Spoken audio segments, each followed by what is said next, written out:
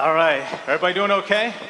We're just getting started, and now I want to introduce our keynote speaker for this men's conference today. And I'm guessing nobody, probably none of you, are unfamiliar with Father Larry Richards, except for this guy over here.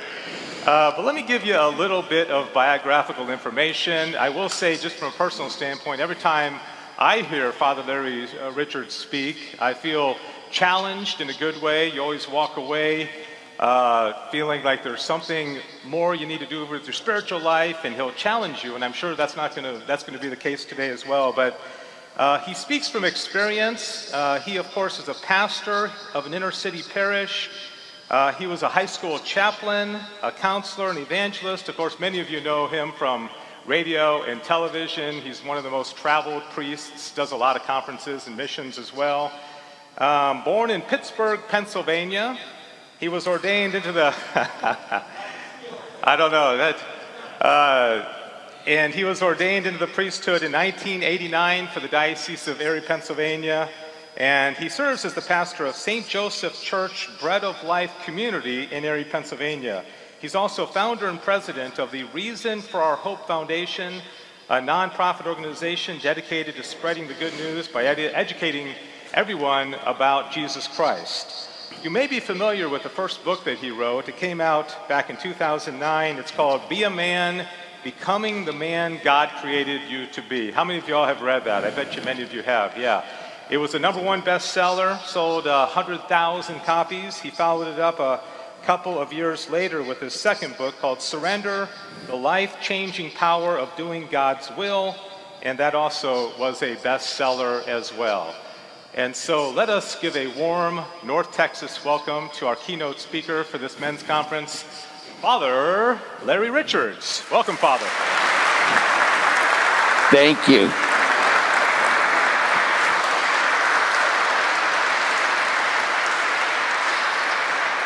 Good morning, gentlemen. Are you ready?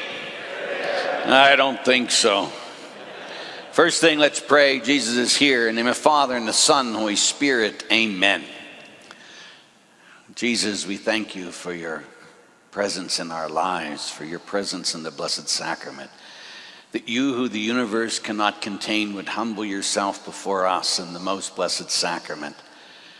Jesus, help us to know you, to love you, to serve you, so we may one day live with you forever in heaven. We beg you these things, Lord Jesus, in your most holy name. Amen. Mary, Mother of Jesus, pray for us. Good Saint Joseph, pray for us. And the Father, Son, Holy Spirit, amen. Okay, well, we're going to be talking about the Eucharist and uh, coming to the table and the reality of how present God is to us in the most blessed sacrament. So please, if you would, open your Bibles with me to Luke's Gospel.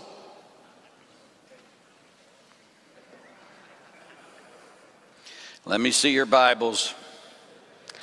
Don't you hold up those phones, you pagans. You've heard me before no Bible, no breakfast, no Bible, no bed. So you need, you know, you guys in Texas are all about uh, weapons and that, aren't you? Oh, yeah, I'm carrying, Father. Whoa, I'm impressed. I'm not impressed with nothing if you're not carrying the sword of the Spirit because your gun can't do squat according to my spirit of the living God here. This is a sword. You go keep you alive forever. Your gun will keep you alive for a hundred years. Big deal. You're going to die anyway. This is what you need, and you need to be carrying it. You need to be reading it. You need to be living it, so you know how to live and be a Christian man, and not just well. I follow what this guy says. I don't care what that guy says. What does this guy say? This is what you and I should be reading every day. And you need to carry it beside your phone. I'm just saying. So, we're going to Luke's Gospel for the 10 of you, our Protestant brothers who are here with us today. Thank you for being with us.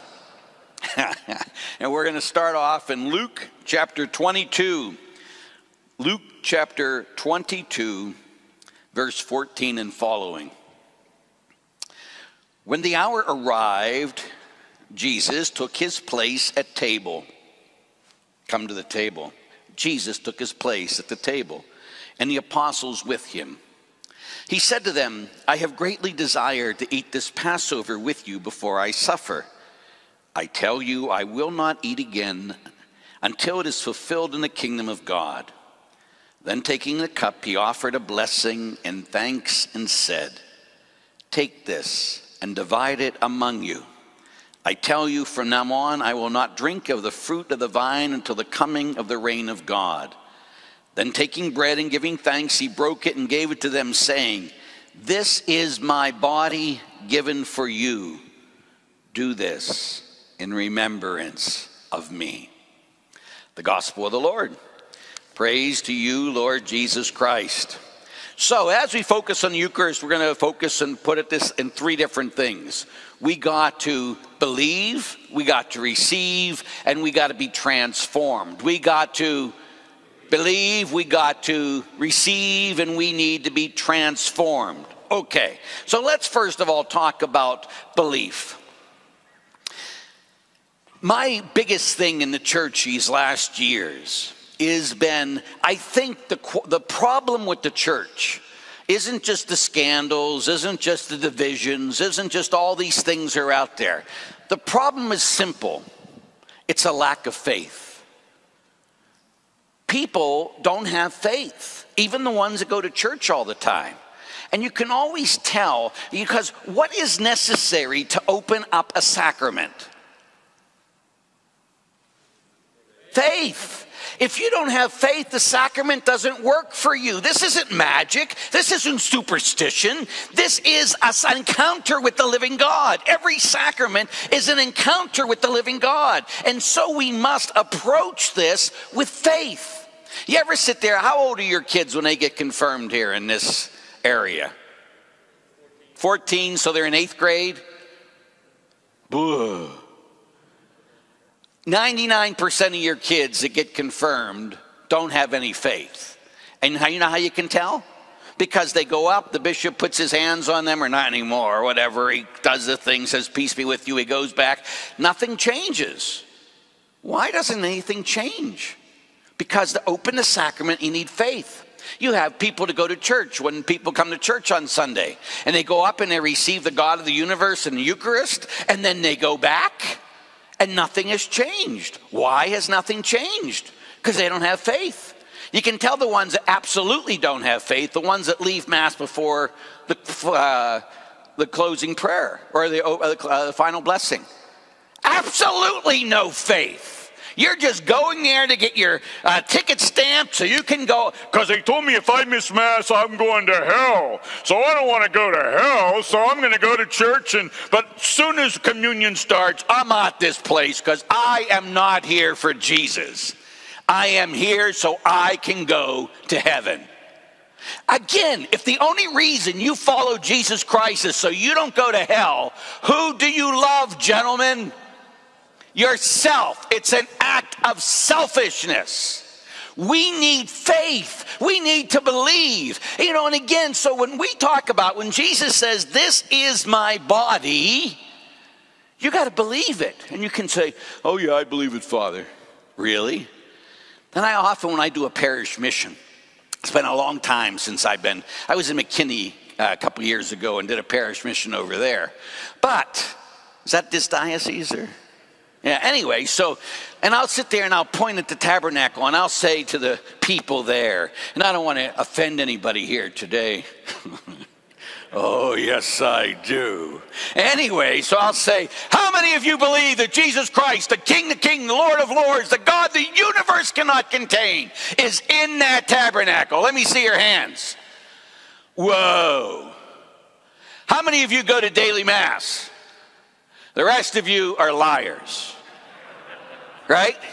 Because if you really believe that that was God, and every single day he's feeding you with his very self, if you believed it, you would come on your knees to make sure you got to Mass. You just would. You know, again, all these people, we just went through the whole pandemic and we couldn't have masses at a lot of places and most places in the world. And yet, as soon as they opened it up, People didn't come back to church, right? Because why? I might get sick. Did you go to a restaurant? Well, yeah. Did you go to the bar? Well, of course. Did you go to the uh, go shopping? Yes. Did you go to work every day? Yes. But you stopped. You didn't go to mass. Well, no.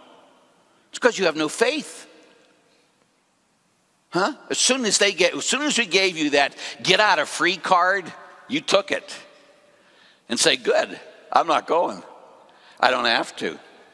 You know, and to me, I'm very controversial in lots of things. Like for me, my biggest thing was we should get rid of the obligation forever. Because then only people who come to Mass is the people want to come to Mass. Not the people that, uh, oh yeah, I have to go every week because I said I'm going to hell and I don't want to go to hell. I would say stay home because you're not coming with faith anyway. You're coming for you so you can get something out of God instead of coming because you believe in Him. You know, every time we come to Mass, it ain't just a ritual. You do realize, gentlemen, ritual without love is rape.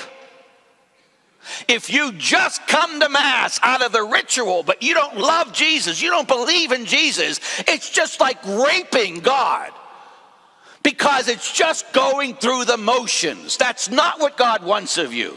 He wants a living, intimate relationship with Him. So when Jesus says, Take this, all of you, and eat it, this is my body, believe it. And then He says, What? Do this in remembrance of me.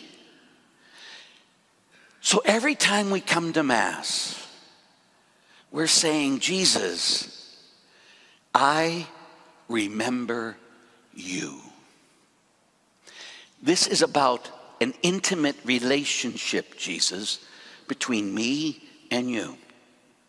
I've been a priest in a month, it'll be 32 years. And as a priest of 32 years, the greatest thing I do as a priest, the most important thing to me I do as a priest is say Mass. So this morning I woke up at 355 and as I woke up at 3:55 so I could do my holy hour and do mass. And so I said mass in the hotel room and I stop at the Our Father so I can be an hour with Jesus. And I offered up today this mass for you and for your intentions. But that ain't why I said the mass. I said the mass as I've done every day for the last 32 years. So I can be with Jesus. To think about the God the universe cannot contain. Think about it. What's beyond the universe? The universe, what's be the universe cannot contain God.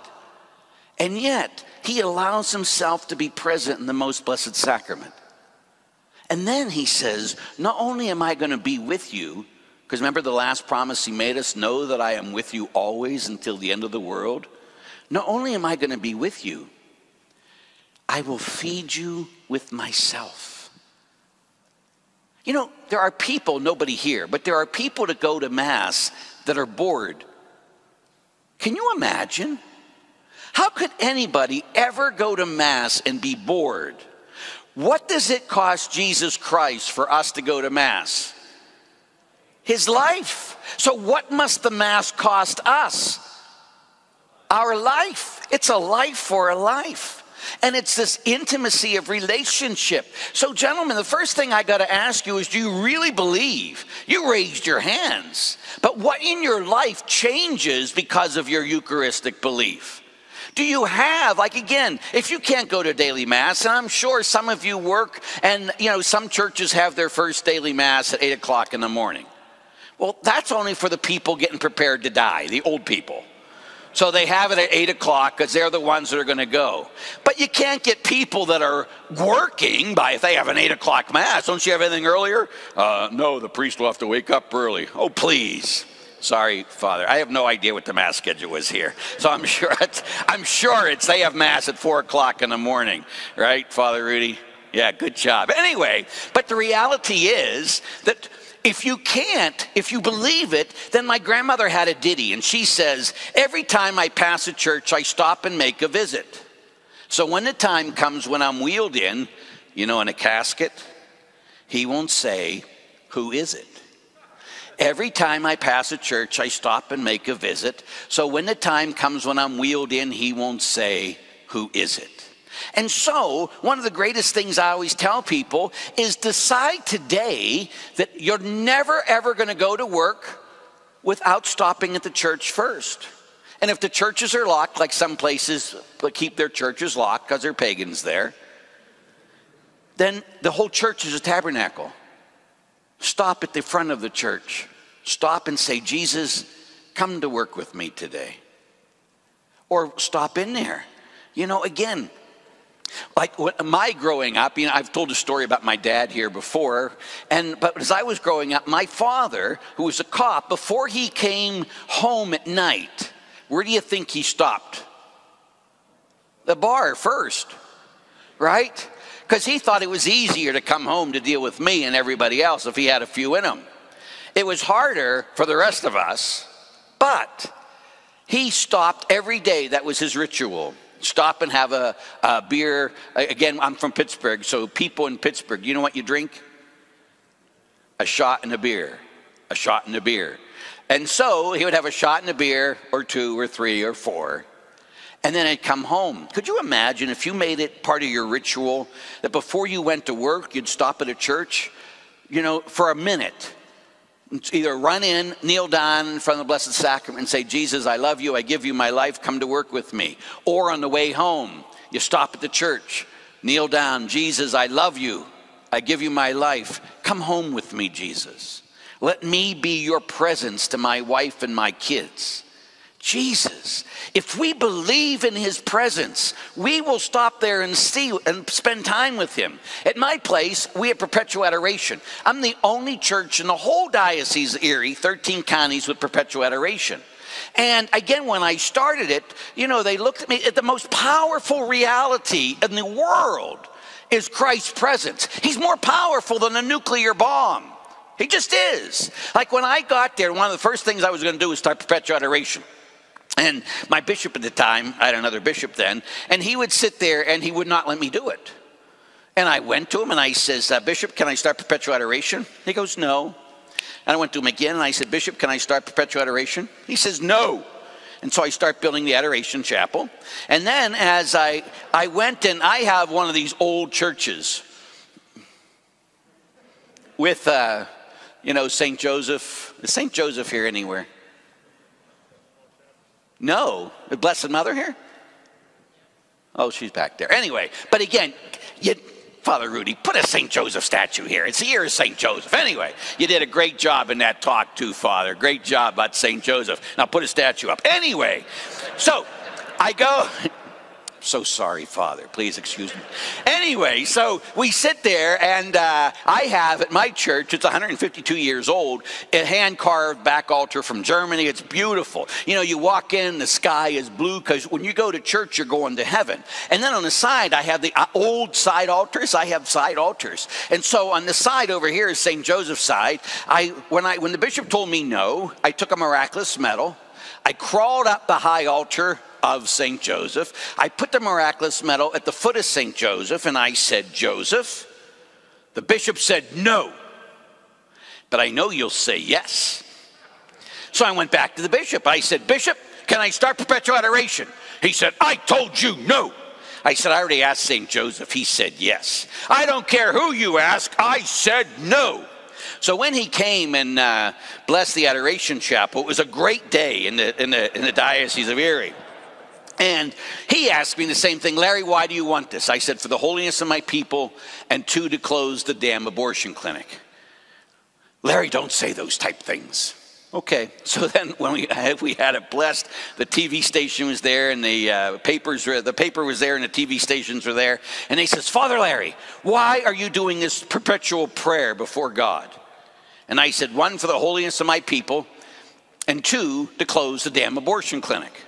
Can we quote you? Please. Front page of the local Times, of Erie Times paper. It says, Father Larry Richards is going to close, they took the word damn out, the abortion clinic. And everybody laughed. Ha ha ha ha ha. Now, everyone at my parish, of course, you got you just can't join my parish. You got to go through three classes. And I teach all three. And so everybody has to be on the same page. You can come to my church, but you can't join unless you're all on the same page. So the first thing, what's it mean for Jesus to be Lord? You know, you got to believe in the real presence. You got to believe no artificial birth control. You got to believe. Uh, you got to be pro-life. You got to uh, tithe. You got to pray with your families. You got to do all this stuff.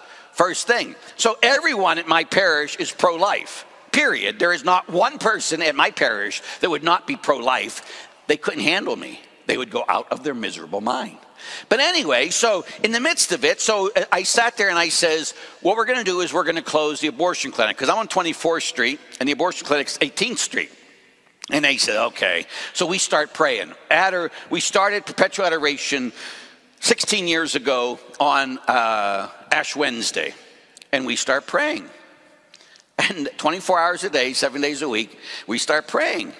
And then, so he started this in February. The abortion clinic closed June 1st of that year. And they sat there and they, uh, the newspapers came to me and they says, Father, you taking any credit? Of course not. But Jesus is. You can't kill babies that close, for we adore the God of the universe. Well, what if it opens again, Father? We'll close it. Three years later, they opened the abortion clinic, same place. What are you going to do, Father? We'll close it. You know how long the abortion clinic stayed open? Two weeks. And then, this is uh, 10 years ago, they sold the clinic. There isn't one abortion in the whole diocese of Erie, Pennsylvania. Because why? Because of belief in the real presence. You know, some people, they have become people that are filled with this being down and they're always negative and they're always critical and they're always like, you know, cynics. If you're negative, cynic, you have no faith. Enough of this stuff. You got to believe that God can do anything. They laughed at me. My bishop laughed at me. You're going to close an abortion clinic. No, I'm not. Jesus is. When are we going to sit there and stop worrying about how bad the country is, how bad the church is? Oh, the devil got in charge. Get over that stupidity. Who's stronger, the devil or God? Then stop giving the devil any credit. He's nothing. Puh. Jesus is God and Jesus is there. Believe it. Start having faith. Start bringing this faith and light into the world. Stop being part of the darkness. Oh, how bad it is. Get over yourself. How bad it is. There is bad there, but there's been darkness since the beginning of time. But have you ever been in a dark room, no matter how dark the darkness is, if you light a match, shh, the darkness can never conquer the light. The light is always stronger. Will you bring the light of Christ to the world? Will you be one of those miserable Catholics that just talk about how bad it is and the devil's in charge and the devil's winning and we got to fight him? Oh, stop it. Be a man. Be a man of faith. Be a man that brings the light of Christ into the world. Jesus says, I am the light of the world. But then he said, You are the light of the world. Believe it. And so, again, so another way you can prove your belief is you become one who does adoration an hour a week, once a week. Do you have adoration in this area anywhere? In most of your parishes? Do you all do adoration once a week? Don't lie to a priest, you go to hell forever. Gentlemen, when I started the Adoration Chapel at my parish, I said, first of all, to be an extraordinary minister of Holy Communion, you first have to do a holy hour. No extraordinary devotion, no extraordinary minister. I don't want you to get up there and say, Oh, look at me tell everybody what you do for God. Oh, I'm a Eucharistic minister. I'm an extraordinary minister at my church, Body of Christ. Look how holy, Body of Christ. I am so holy, Body of Christ. Do you do a holy hour? Nope, off. You're no longer going to be an extraordinary minister of the Holy of Jesus. You prove it by doing a holy hour first. Now you can be an extraordinary minister. I had people leave my church over that. Can you imagine? They went to the cathedral, the I Hate Father Larry group at the cathedral. Because I told them they had to spend an extra hour with God. And I told them, okay, goodbye. But I said, when you're dying on your deathbed, you're not going to be sitting here saying, I can't believe I spent an extra hour with Jesus every week. I can't believe my pastor called me to do that. You'll be thanking Almighty God that you had a miserable human being as a pastor who's been pastor now going on 20 years. And my parish keeps growing, it's not dying. You'd think people wouldn't want to come. I don't know what's going on. But it's a challenge because, gentlemen, like again, if anyone asks me to sign their book, I'll sit there and I'll sign it and I'll say the same thing. I'll say, What's your name? And you'll say, My name is Joseph. Oh, and here's St. Joseph. And then I'll sit there and say, Dear Joe, be a saint. God bless Father Larry. Then I'll hand it back to you and I'll say, or go to hell. You understand? Those are the only options you have, gentlemen. You become a saint or you go to hell. Is there any other option? I'll go to purgatory, Father. Shut up. You're going to be a saint. You're on your way. But I would not be shooting for purgatory, gentlemen, because if you're shooting for purgatory and you don't make it, eh, yeah, hell. But if you shoot to be a saint and you don't make it, purgatory. So, you got to desire to be a saint. So, if you're going to be a saint, a sanctity is when God's will and our will become one. So, the most important thing you got to be doing in your own life, men, is being a man of prayer. And so to spend an hour with Jesus once a week, again, the way I do it, I make my men do the middle of the night. Huh? Now, when, when we have it, uh, I do my time Fridays from three to four. Someone replaces me. Right now, it's not mandatory because we still we still have the hours and we still perpetual adoration. But you can go in there because some of the older people can't do it. But when I was getting in the guys in the beginning, I'd say, "Gentlemen, come on, you got to sign up." And they'd all look at me like a lot of you do, like you're a nut, father. Yes, I am. I'm a nut for Jesus. Thank you. But then I'd say, "Gentlemen." if I promised you, if you came to adoration for an hour a week in the middle of the night for one year, at the end of the year, I'll give you a million dollars. Do you think people would come? Do you think you'd go out of your way for that? I get a million dollars? Yeah. The only thing I have to do is get up in the middle of the night once a week and spend an hour in that chapel? Yep, that's all you got to do for a million dollars. Okay, Father, I'll do it. Okay then why won't you do it for Jesus? Because you have no faith. You believe in money. You believe in the power of money. You'd be willing to do anything. You'd go to daily mass if someone was going to give you a million dollars. You'd do anything for money. But for Jesus, to get to know Jesus better, to get to spend time with him in eternity, ah, oh, yo, no, I don't, I don't, I can't do that. You know, again, isn't it amazing that we want people, even priests, we want our priests to be milk correct? You know, like for instance, do you guys in Texas, do you follow high school football and that around here? Is football a big thing here? Anyway, so you go and you get a coach and you say, okay, I'm going to get this coach. This guy, I want to be the best football player. I want the best team. And you get a coach and say, okay, coach, what should we do? What should we do? Tell us what to do. And they go, I like you just the way you are. Could you, don't get mad at me, but could, could, you, could you try to come to practice once a week for 45 minutes to an hour? And could you have good thoughts about the game? What would you do with that coach? Get out of here. What kind of coach are you? But that's what we want from our priest, isn't it?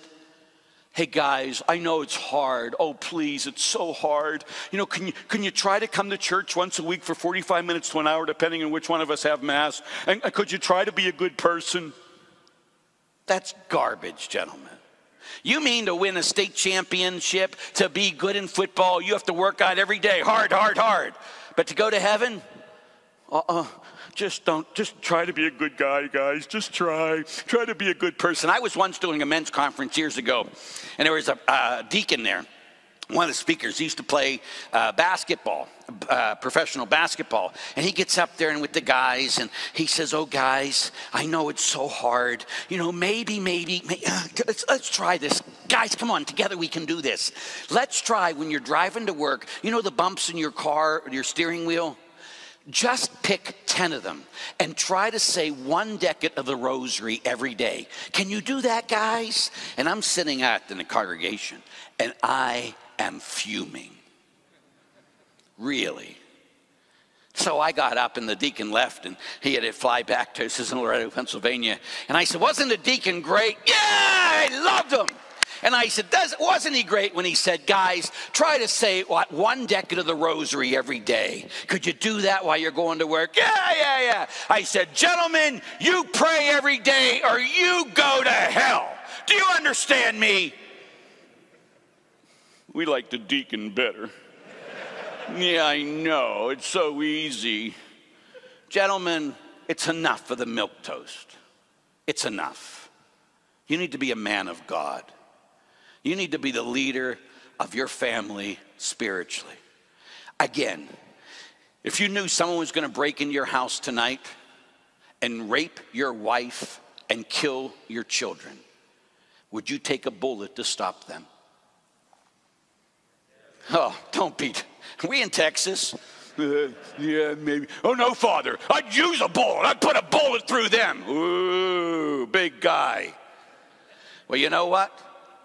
If you're willing to die for your family, for something physically, because they're going to die anyway, if you're not a man of prayer, you leave your wife and your children unprotected.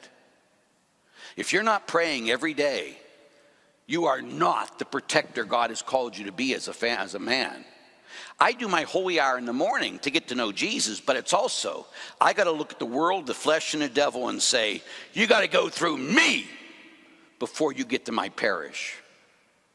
In your prayer, gentlemen, when you're praying every day, you look at the world, the flesh, and the devil and say, You got to go through me before you get to my wife and kids. The problem with some of you is you let your wife be the spiritual leader of the family. So your wife has to go in prayer and she has to go before the world, the flesh, and the devil and say, You got to go through me before you get to my family because my husband's a wimp. Isn't that something that you let your wife be the spiritual leader of the family? Gentlemen, it's time to have faith to know the reality of this. So, the first thing you got to do is you got to believe. The second thing you got to do is you got to receive. And when you receive, you can't receive from TV. You know, again, on my uh, when we started this, I start uh, doing my uh, mass with my phone.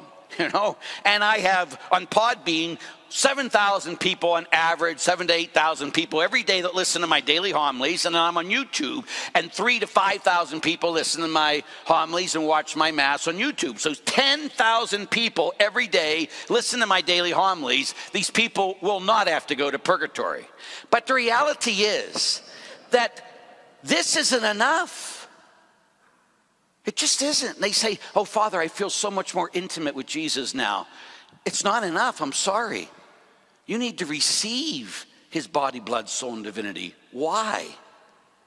Because Jesus wants to live inside of you. Again, the reason we don't do this is because we don't get it. Catholics like to categorize, especially men. My degree's in psychology men love to categorize, right? And so that's why a man can fight with his wife one minute and have sex with her the next. Because that's two entirely different realities my sexual life, my fighting life. Now, that couldn't happen ever because your wife doesn't see life like that at all. It's all the same. Oh no, we just got done with a fight. You think we're gonna have sex now? No, no, no, no, no.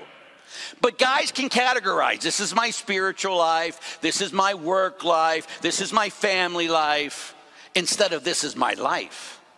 God must become your life. And then what we need to do is when Jesus comes inside of us, we need to live to be tabernacles of the living God right? Like I taught all boys at an all Catholic boy high school. And so, and we had anywhere from 650 to 700 boys. Like you've heard me say, one year literally we had 666 boys. 666, the sign of the Antichrist. So he threw out one the first week to get rid of that number. But anyway, But in dealing with this uh, the reality of uh, dealing with these boys and being transformed, I would sit there and say, We were cathedral prep. So our chapel was the cathedral of the diocese. And I would say to them, Gentlemen, how many of you You'd never, would you, come in here in front of the tabernacle and have sex with your girlfriend? Would you ever do that? And the guys would look at me and say, That's disgusting, Father. But a few of the guys would go, well, maybe. But I'd say if you would never ever have sex in front of the tabernacle, you better not have it anywhere else outside of marriage. Why? Because you are the tabernacle. Don't you get it, gentlemen? You don't leave Jesus here after you go to communion. You are Jesus now. Jesus is inside of you. You know, I have a priest that tells people Jesus stays inside of you for 10 minutes after communion, so be still. Shut up. So as soon as you receive communion, the tick tock starts. Start the talk watch. Tick tock, tick tock. Nine minutes more. Tick tock. You better hurry up and talk to me. Eight minutes more. Seven minutes more. 30, 10, 9, 8, 7, 6, 5, 4, 4, 3, 2, 1. Bam! I'm gone. Sorry. That's heresy. Jesus Christ took up residence inside of you the day you got baptized. Paul says, Do you not know you are the temples of the living God? And then Paul later would say, talk about explicit, but Paul says, if you have sex with a prostitute, what are you doing? You make Jesus Christ have sex with a prostitute. Why? Because Jesus is inside of you. When you receive Jesus, you become one with Jesus. Jesus lives inside of you. It's going to be on my gravestone when I die at 120 because the good die young. Galatians chapter 2, 19 and 20. I have been crucified with Christ, so the life I live now is no longer my own. What? Jesus Christ lives inside of me. I live my human life, yes, but it's a life of Faith. Thank you, one person. It's a life of faith. A life of faith. I no longer live, Christ lives inside of me. I still live my human life, yes, but it's a life of faith in Jesus who loved me and gave his life for me. Gentlemen, you receive Jesus so Jesus can grow in love and be and grow inside of you. That's why, again, John the, John the Baptist said, what was the famous line of John the Baptist? Do you remember? When they were talking about Jesus and everybody's going to Jesus, John says, I must decrease, he must increase. The more you and I receive the Eucharist, the more Jesus increases and the more we decrease because the world is called to see Jesus Christ, right? And so if Jesus lives inside of me, then I got to start living a life of Christ in the world. You know, again, I think too many Christians believe that we are the ones that just follow the commandments and we follow the rules of what Jesus said. Gentlemen, that's not true. God lives inside of you you need to surrender to Him and let Him take full control of your life. So that means, is Jesus completely Lord of every part of your life? Huh? You know, and sometimes people say, well, yeah, well, sure, Father, I go to church. Oh, please, you can be an atheist and go to church. Is that true? Absolutely. You can be an atheist and obey all the commandments. So what? Do you know Jesus? Remember, again, in the, the, Old Catechism, but it's in the New Catechism, the Universal Catechism, it says, Who made me? God made me. Why did God make me? God made me to know Him, to love Him, and serve Him in this world so I can be happy with Him forever in the next. So, your first question I'm asking you is Do you know Jesus Christ? Do you know him like your best friend? Do you know him like your spouse? Do you know Jesus Christ? Not know about him, not going to church. Do you have an intimate, relationship with Jesus? Do you know that you no longer live? You died, and now Jesus Christ is inside of you. And if not, gentlemen, what are you going to do to get there? And the first thing you're going to do is become that man of prayer.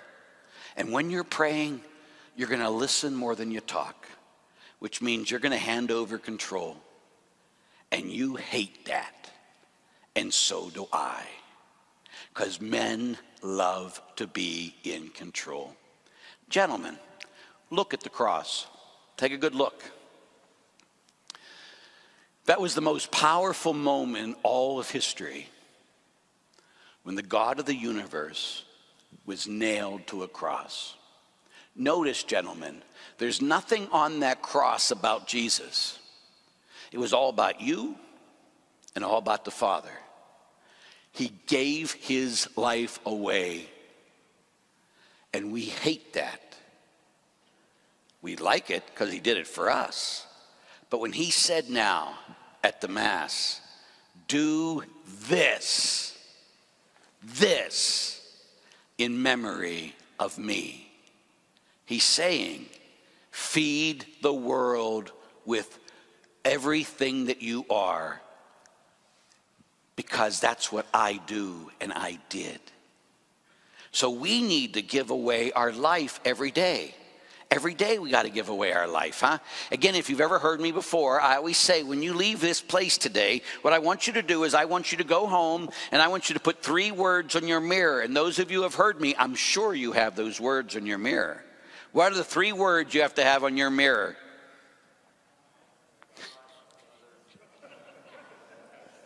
I'm not coming back here. I am third. What are the three words? I am third. God is first, others are second. I am last. Mother Teresa said it this way a life of joy. J, Jesus first. O, others second. Y, yourself last. So every night, gentlemen, you're brushing your teeth and you see the I am third. Do, do, do, do, do, do, do, do. You think, or you should do an examination of conscience that I do at least one unselfish act for another human being today? Did I give my life away for another human being by doing one unselfish act today? And if the answer is no, you wasted your life in Christ today. You only lived for yourself. What a wasted life. A life of selfishness. This is the type of life we're called to live. So when we receive Him, we got to be then transformed into him.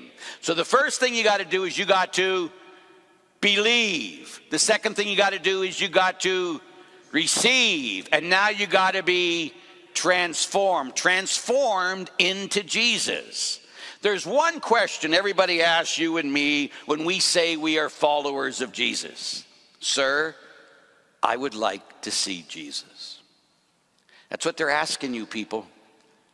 And we got to show the world Jesus Christ. Now, every one of us here are going to show a different side of Jesus, but we still got to show the world Jesus, huh?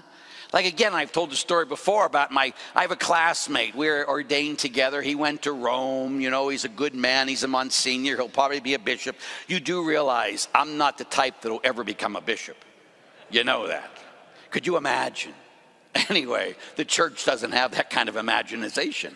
But anyway, so he sits there, and I was with all boys at an all boys school, Catholic high school, and he was at a co ed Catholic high school. And he would sit there and have the kids, you know, and kids would walk by, he said, Hey, come here, come here. And he'd say, I want to tell you a secret.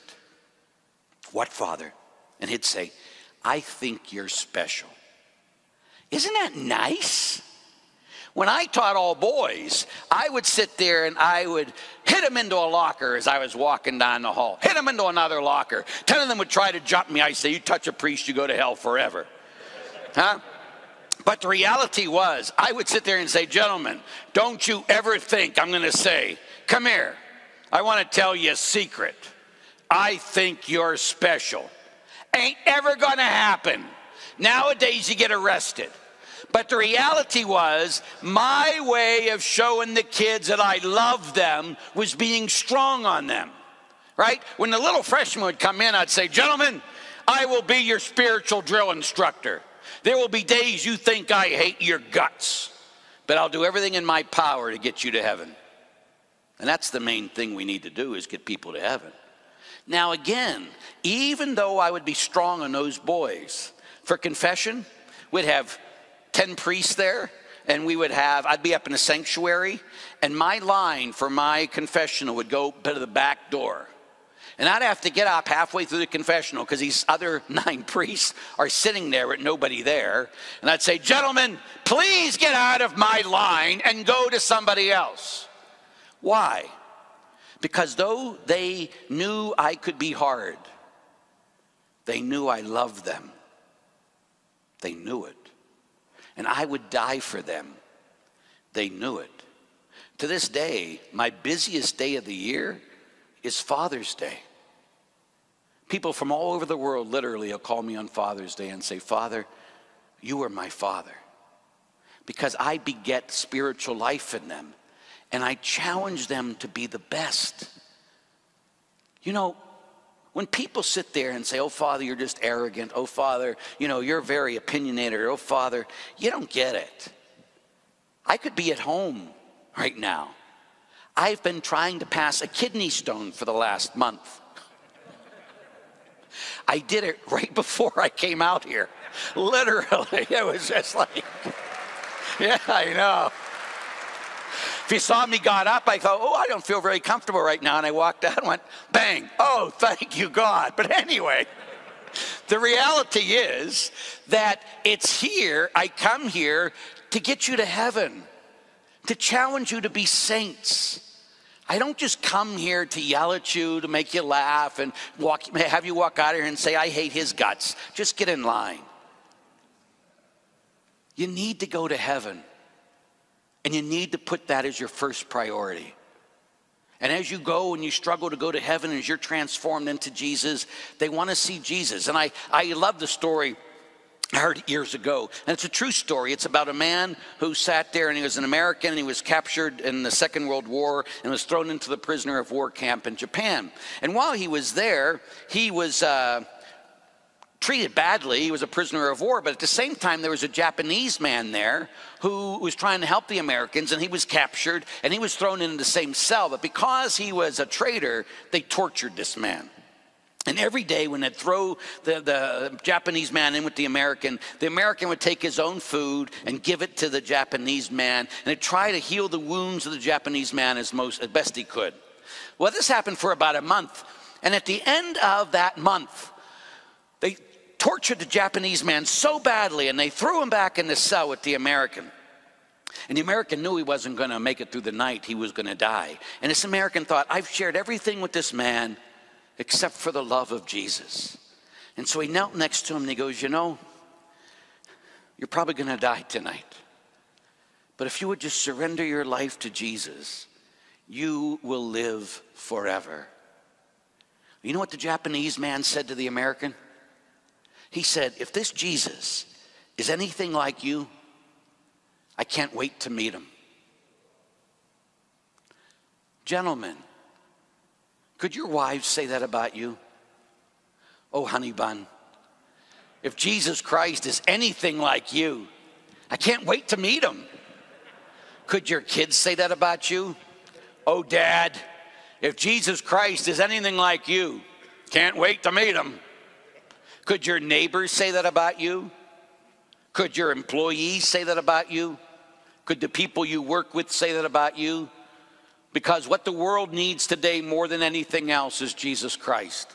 They don't need, it doesn't need Father Larry Richards and it doesn't need you. It needs Jesus to come back to being the light, to be transformed into Jesus, to showing the world Jesus Christ. We, in this octave of the resurrection, we must be proof that Jesus Christ is alive.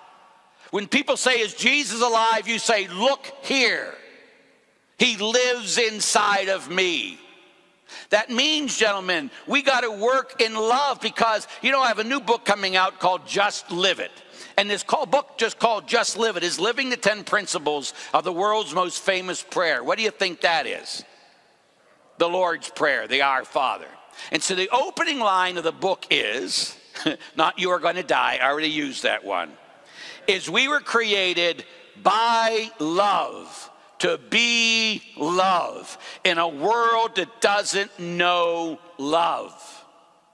Jesus Christ is the incarnation of love because God is love. That's most expressed on the crucifix. That's what love is. We too now need to be an incarnation of love. So when people look at us men, we must be the most loving people there are. Your kids should be able to say about you, my dad is the most loving man I know. Your wife should be able to say, my husband is the most loving man I know. We must be love. So everyone asks you and I the same question Sir, I would like to see Jesus. Jesus didn't tiptoe through the tulips. He didn't sit there and make everybody feel comfortable. In fact, he challenged them so much, they killed him. It might happen to us. Aren't you excited? Don't you wish you could be a martyr for Jesus, a martyr for the church? We have to be these martyrs every single day by taking the one life God has given us, letting Jesus Christ live inside of us, and giving our life for the world, cursing the darkness by bringing his light. You got it? You get it? You're going to do it? May each of you know his love today and forever. Amen. Be with you with your spirit. May Almighty God bless, keep, and protect you, He who is Father and Son and Holy Spirit. Amen. God bless you, gentlemen. Thank you.